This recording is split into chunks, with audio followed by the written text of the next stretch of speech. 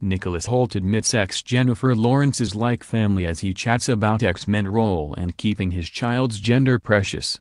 Nicholas Hoult has admitted ex-girlfriend Jennifer Lawrence is like family, as they reunite for their latest X-Men film. The British actor told the Evening Standard magazine that he's still close to the Hollywood star as they grew up together, ahead of the much-anticipated Dark Phoenix this summer.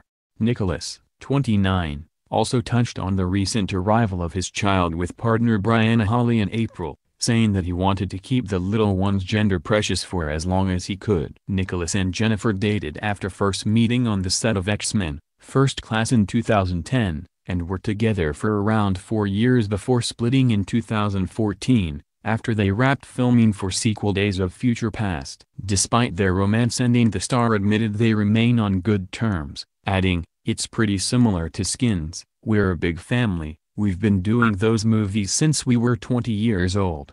As much as the Skins crowd grew up together, the X-Men crowd really grew up together. It's been a good eight, nine years making those movies. We've all got to get along, we've all got to have fun. The really beautiful thing about this last film is that, writer and director, Kim Berger has given me somewhere nice and new to experiment and go with the character. Which is cool. Nicholas and Jennifer have also played lovebirds on screen in the X-Men series, appearing as Hank McCoy, Beast and Raven Darkholme, Mystique respectively.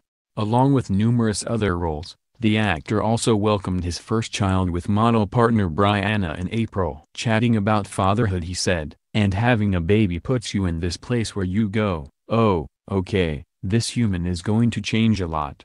It makes you value time differently, which is why I talk very quickly in interviews now, because I need to get home to them. Nicholas' use of the pronoun them was specific as he and Bryana are yet to publicly reveal their child's gender and the star went on to justify his decision by saying, someone will find out soon enough and that's fine.